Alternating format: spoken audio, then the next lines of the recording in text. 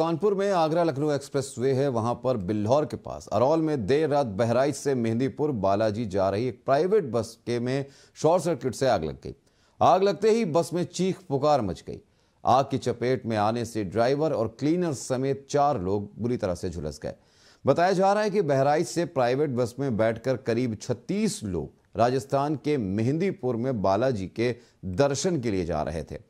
देर रात अरौल में आगरा लखनऊ एक्सप्रेसवे में अचानक चलती बस में शॉर्ट सर्किट से आग लग गई, जिससे बस में बैठी सवारियों में चीख पुकार के साथ अफरा तफरी मच गई। कई सवारियाँ बस की खिड़की में लगा शीशा तोड़कर नीचे कूद गईं तो वहीं आग की चपेट में आने से ड्राइवर, क्लीनर समेत दो अन्य सवारियाँ झुलस गईं।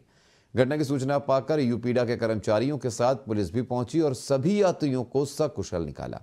चारों झुलसे लोगों को तिरवा मेडिकल कॉलेज में भर्ती कराया गया है। इन सबके बीच करीब एक घंटे बाद कन्नौज और शिवराजपुर से पहुँची फायर ब्रिगेड की गाड़ियों ने आग पर काबू पाया।